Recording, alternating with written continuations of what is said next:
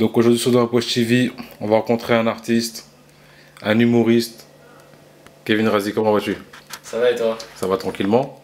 Donc aujourd'hui on est venu te voir par rapport à ton parcours. Mhm. Donc on t'a rencontré, euh, moi la première fois que je t'ai vu personnellement c'était dans l'émission euh, Before. Ouais. Donc voilà, suite à ça, je viens à ta rencontre. Pour les gens qui ne te connaissent pas, tu peux te présenter un peu? Bah, Je m'appelle Kevin Razi, je suis humoriste. Ça fait 6 ans que j'ai commencé. Euh, ça fait 6 ans que je fais à la fois de la scène et à la fois des vidéos sur internet. Donc voilà, c'est. euh, je suis un humoriste hybride, comme j'aime bien m'appeler comme ça, et, parce qu'en fait je suis, sur, euh, je suis sur les deux tableaux, quoi, autant sur la scène que sur euh, internet et maintenant euh, sur la télé. Ok, donc ça fait 6 ans que tu étais dans le milieu, quoi. Mais c'est c'est comment que tu as commencé en faisant des vidéos sur Internet? Ouais, en fait, euh, j'ai commencé en même temps. C'est-à-dire qu'il y a 6 ans, je, après mon bac, j'ai commencé à faire euh, la première partie d'un de mes potes, dans un petit café-théâtre dans le 20 e Après, petit à petit, j'ai fait mon spectacle. Et genre, 6 ou 7 mois après, j'ai fait une vidéo, j'ai pris le caméscope de mon daron, tout ça, j'avais Mhm. une idée, tu vois. Avec des potes, on a commencé à faire le clip. C'était une parodie euh, de Justice euh, Dance à l'ancienne, et j'avais mis version Brice Hortefeux. Et euh, voilà, et c'est comme ça petit à petit, euh, on a lancé la vidéo, ça a été repris dans LCI, dans Entrevue, dans euh, Direct 8, tout ça à l'époque, Direct 8, tu vois, c'était pas des 8. Et puis bah, du coup, voilà, ça a fait son petit truc, et c'est comme ça que je me suis dit, c'est cool de faire la scène, mais à côté, je vais essayer de faire des vidéos euh, de temps en temps. Ah, ça veut dire c'est parti de rien, sur un coup de tête, une, une, une idée, une caméra, une vidéo, et puis voilà, c'est ça. Ouais, exactement. À chaque fois, c'est, euh, c'est, à chaque fois, c'est d'abord ça part d'un délire. À partir du moment où le délire il nous fait rire et tout, bah, on se dit, bah, vas-y, il faut le faire quoi. Et c'est vrai que souvent ça arrive à tout le monde quand on est là avec tes, euh, quand t'es là avec tes potes, tu dis, ah, des barres de rire, imagine ça, imagine ci. Bah, moi en fait, à chaque fois, bah, je dis, ah, bah, je vais le faire quoi, tu vois. C'est vraiment plaisir de dire qu'on on est tous avec nos potes, genre on rigole, on zague, et en fait, toi, tu c'est ce que tu fais en, en image, quoi, en vidéo. Ah, bah, même, euh, dis-toi, souvent, moi, avec des potes, on rigole, machin et tout.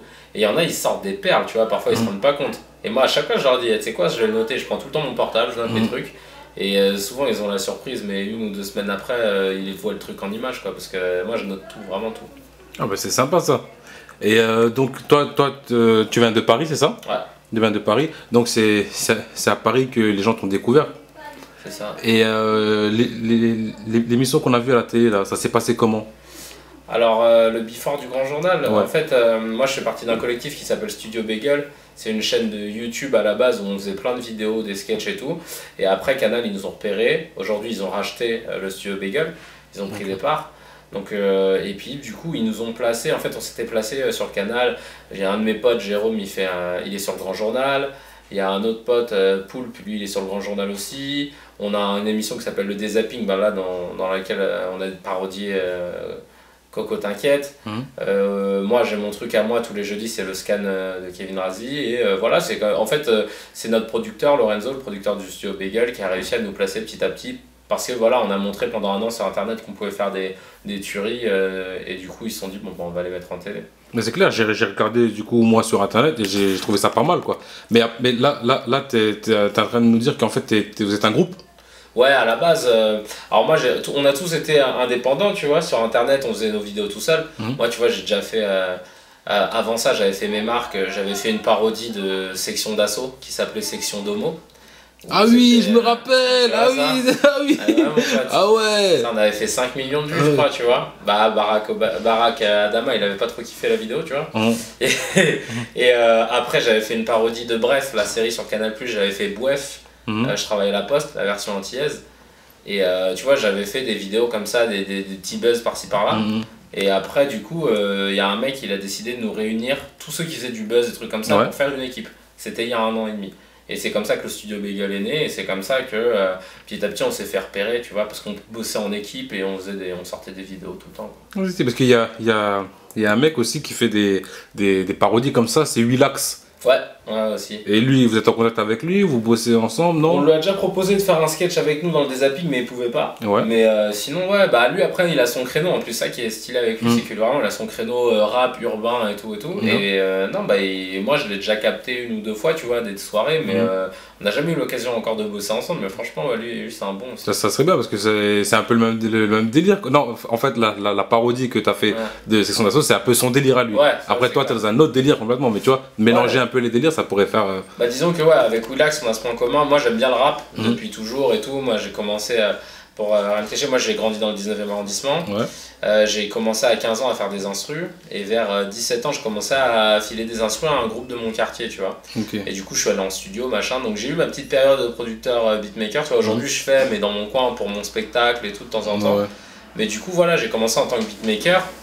Et, euh, et donc, du coup, je, je- je suis un peu ce qui se passe sur la scène rap. Tu vois, je suis Mm. assez proche du rap. C'est pour ça que j'aime bien faire des parodies sur le rap.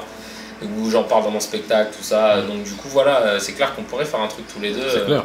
Non, Mais- mais... là, il y a, y, y, y, une parodie d'un rappeur que, qui te dit en tête là? Euh, Ou qui est, t'es- qui est, qui est prévu peut-être, je sais pas. Ah, euh, j'avoue, bah, j'ai fait Caris il y a pas très longtemps. Je faisais une fausse interview de Caris. Mhm. Après, euh, là, en ce moment, euh, non, j'avoue, là, il n'y a pas trop de rappeurs. En ce moment, j'écoute beaucoup Caris, donc euh, j'avoue, il Un gros m'inspire. big up à Caris, je le connais, c'est un peu Tu connais Ah ouais, mais big up, big up. Là, j'ai pris euh, la Hors Noir. euh, la- Partie deux. Part 2, ouais. Mm. Franchement, bien. Il- C'est bien parce qu'en fait, c'est ouf, Caris, il arrive à, à se renouveler. Tu sais, il, il va pas se contenter de poser exactement pareil sur euh, 25, 25 sons. Ouais. Le mec, il a sorti Hors Noir part 1. Après, il revient euh, quoi, 4 mois, 5 mois après, il pose un nouveau flou et tout. et C'est là que tu te dis, euh, le mec, il bosse. Ouais, le mec il est là, il bosse, hein, il, est- il charbonne quoi, tu vois. Ah, de ouf. Après, j'ai entendu les clashs, etc. Mais on va parler des clashs, on n'est pas là pour parler des clashs. Ouais, Voilà, non. voilà. Et puis je pense que même, c'est quoi, par rapport au clash, il a été intelligent, il a très vite calmé le truc. Parce qu'à chaque fois, euh, pendant son Planète Rap, il venait, il expliquait très simplement, bah voilà ce qui se passe, tac, tac, tac, et après, il y avait. Mm. Au bout d'un moment, tu peux plus rien dire, le mec, il est clair et précis. Voilà, de toute façon, il a, je, je- je pense qu'il a même pas répondu, il a même pas répondu sur les réseaux sociaux, tout ça, il a. Non, Il a- sans- il- il, a ouais. répondu lui-même, Lui-même. mais il a pas alimenté le truc sur les ouais. réseaux sociaux, ouais. Sur Mhm. les réseaux sociaux, il, il l'utilise que pour la promo, il a raison, ça sera. C'est ça. Et sinon, on, on- ce que, ce que j'ai pu voir, tu fais partie du Jamel Comedy Club, c'est ça? Ouais. Mais t'as- en fait, t'as, c'est quoi? T'as as des bons rapports avec Jamel? Bah, euh, avec Jamel, euh, petit à petit, ouais, mais euh, tu sais, c'était pas gagné parce qu'au final, euh, tu vois, là, ça va faire la troisième année que je suis au Jamel Comedy Club Ouais. et ça fait qu'une semaine que j'ai son numéro de téléphone. Donc, c'est pour, te Ah dire- ouais pour te dire à quel point, tu sais, c'est pas ce qu'il t'arrive et tout, c'est la famille. Tu Mm. dois gagner ta place. Moi, tu vois, quand je suis arrivé, j'étais un peu le petit nouveau. Parce qu'il y y a beaucoup de monde quand même dedans. Bah ouais, ah bah déjà, on passe après les Thomas Njijol, Fabrice Ebo et tout, tu vois, ça c'est des premiers. Ouais. Donc déjà, c'était du lourd, Mm. très très lourd. Donc nous, on arrive derrière, faut faire nos preuves. Mm. Et euh, bon, bah, maintenant, il y a des Malik Bentalar, Edouard Arjan, tout ça. Il y a eu Jal aussi. Euh, bref, on passe derrière des gens qui sont à ses côtés. Mm. Donc du coup, euh, t'es obligé de faire tes preuves. Et lui, il sait que t'es là, mais quand même, tu vois, c'est. Il observe, il dit change ça, change ça, mais t'es pas son pote pour autant, tu vois, ça, ouais. ça reste ton patron. Ouais, c'est, le patron quoi. Ouais, voilà, il faut, faut gagner sa confiance. Mais Mm. donc, ouais, ça fait trois ans que je l'ai intégré, c'était vraiment par hasard. On m'a dit, ouais, il recherche du monde. Et tous les mardis, tu vois, il y a une scène ouverte euh, au Mm. Comedy Club. Ouais. J'y suis allé et euh, ils m'ont dit, ah, repasse. Ouais, Mm. voilà. Ils m'ont dit, repasse encore une fois, il faut que tu changes ça, ça. Repasse encore une fois, il faut que tu resserres. Ils m'ont convoqué au bureau, ils m'ont dit, ça c'est bien, tu sais, on regardait mon passage euh, filmé. Et après, un jour, il m'a appelé, il m'a dit, ouais, c'est bon, tu fais que j'ai- j'avais le Comedy Club. Donc, tu vois, Ah ouais. Bah, félicitations encore. Hein. Merci, c'est Félicitations et gros big up à Jamel. Ah, big up à Jamel, ouais. Et donc là, tes, tes futurs projets, c'est quoi en fait? Bah alors là, moi, tu vois, j'ai mon one-man show. Ouais. J'ai mon one man show euh, qui je suis en train de retravailler donc en ce moment je réécris et je vais jouer que en province pour Mhm. Prodé tu vois. Je vais faire le festival d'Avignon cet été là pendant un mois je vais jouer tous les jours. Ouais. et après je reviens sur Paris euh, si Dieu veut en octobre novembre. Et puis euh, je vais jouer euh, sur une salle parisienne. Et puis voilà quoi on va lancer le, le truc. Donc voilà je prépare mon spectacle euh, des projets de j'écris des j'ai j'ai deux projets de films que je suis en train d'écrire. Rien n'est vendu quoi tu vois Ouais, mais ouais. j'écris et là, avec, euh, avec ma boîte, on continue de faire des vidéos sur le net. Toutes les semaines, on, on produit des vidéos, tout ça. Ça s'appelle les news de mardi en brise. En fait, c'est une fausse banlieue qui n'existe pas, Ok. où en fait, on invente des histoires qui. des histoires drôles, mais qui reflètent un peu ce qui se passe dans notre société. Tu Ouais, vois. ce qui, ce qui se passe en, en image vers, vers, vers version humoristique quoi. Ouais, voilà, c'est ça, exactement. En fait, c'est c'est comme Groland, tu vois, Groland. Ouais. Sauf que nous, en fait, Groland, eux, ils parlent un peu de la campagne. Nous, c'est plus, on parle de, de, de, de la banlieue, tu vois. Mm. Et euh, voilà, donc euh, on continue de développer ça sur le net. Je continue de faire des vidéos. euh, Je continue sur Canal, tu vois. J'essaie Mm. de, de, de, de, faire du bon travail. Comme ça, au moins, tu vois, tu, tu fais ta place petit à petit. Mm. Donc, on va dire que, tu vois, là, je suis à un, un stade où. les, les- le taf est là et tout ça, mais il faut rien lâcher, il faut être. Ah, faut toujours être déterminé, faut faut être- toujours. voilà. Il faut. Déterminé, faut être régulier. Là, je peux pas commencer à, à faire bluff, je, je suis pas encore du tout arrivé. Donc, je Mm. sais qu'il y en a, même pas à mon stade, même en dessous de mon stade, qui pensent déjà être arrivés. Arrivé à la rue. une fois Ouais. dans la rue. Mais moi. Ça, c'est des gens qu'après ils tombent de haut, tu vois. C'est ça. C'est ça. Et- Non, moi, tu sais quoi, je dis tout le temps, euh, le succès en fait, euh, c'est comme si c'était euh, genre au 50e étage d'un immeuble. Mm. Et il y en a, ils prennent l'ascenseur, ils y vont tout de suite, et il y en a d'autres, ils passent par l'escalier, tu vois. Et Ouais. moi, je passe par l'escalier, donc ça met du temps. C'est bien, t'as la tête Mais- sur les épaules au moins. Voilà, tu Mm. vois. C'est-à-dire que euh, quand tu passes par l'escalier, en fait, quand tu arrives au 50e, t'as des mollets, ils sont durs. Ah ouais, tu vois, t'as ouais, fait des chemins déjà. tu voilà, t'as fait du chemin, tu pourras pas redescendre Ah comme ça, tu vois. Donc voilà, c'est ça, le plus important, c'est de bosser, quoi. Et euh, euh, Coco T'inquiète m'a dit que, que t'as envoyé son album. Ouais. Euh, Est-ce que tu l'as reçu ou non? Non, je l'ai pas reçu, frérot. Euh, big up à Coco, t'inquiète. Euh, j'ai pas encore reçu l'album, mais j'ai hâte de l'écouter parce que euh, vraiment j'ai découvert quelqu'un via les interviews. J'ai vu ce, que ce soit sur De Ma Poche TV euh, ou sur tous les autres médias.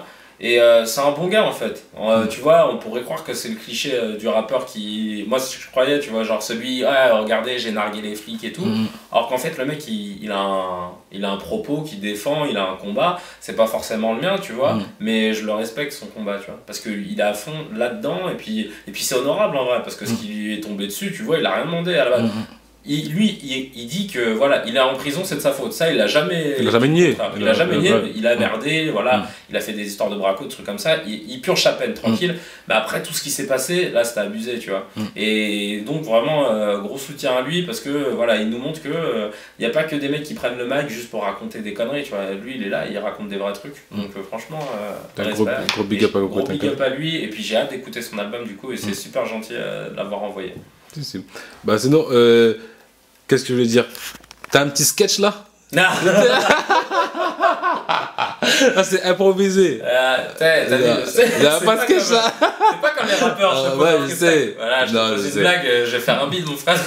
Non, t'as pas une petite blague pour la caméra de ma poche TV là Euh, les petites blagues, Eh, d'habitude. Une anecdote, tu vois Si, euh, putain, je sais pas, non, j'avoue, euh, là, franchement, là, comme ça, si, il y a un truc qui m'a fait rire. C'est euh, une fois, c'était, il y a, tu sais, il y a un festival euh, au Québec juste pour rire, tu vois. Ouais. Et en fait, il y a un mec qui s'appelle Martin Roson, Mhm. c'est, euh, il fait de la magie. Et en fait, il a un tour, genre il fait disparaître une nana et elle arrive à- elle- et elle réapparaît derrière la salle, tu vois. Tu vois, parce qu'en fait, il, voilà, ben, en fait le tour, voilà, c'est le délire, c'est que il, en fait, en vrai, il prend des jumelles, Mhm. il y en a une, il a disparu, et il y a l'autre jumelle qui arrive derrière. Et en fait, du coup, t'as le mec qui devait annoncer le, le, le tour, il arrive et tout, et il dit Ouais, applaudissements pour Martin Roson et les jumelles. et, là, et là, le gars, il était comme. Parce que tu vois, c'est pas comme nous, genre en stand-up, tu, tu, tu- si tu me niques une chute, je peux te sortir une autre vanne. Ouais, ouais. Là, c'était tout son, tout son tour de magie, tu vois. Ah ouais. Et donc, du coup, il a dû y aller quand même. Il a dû faire son truc, allez, abracadabra, nan, nan, nan. La meuf, elle apparaît derrière, et là, le public, il a fait ça.